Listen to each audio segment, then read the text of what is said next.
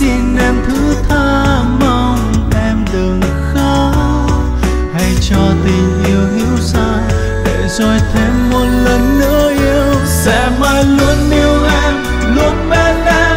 Quan tâm em mỗi ngày, vì anh không muốn mất em lần nữa. Hãy lắng nghe lòng anh, bởi vì khi xa nhau, tim anh đau. Nhớ đến em rất nhiều, từng ngày cố gắng but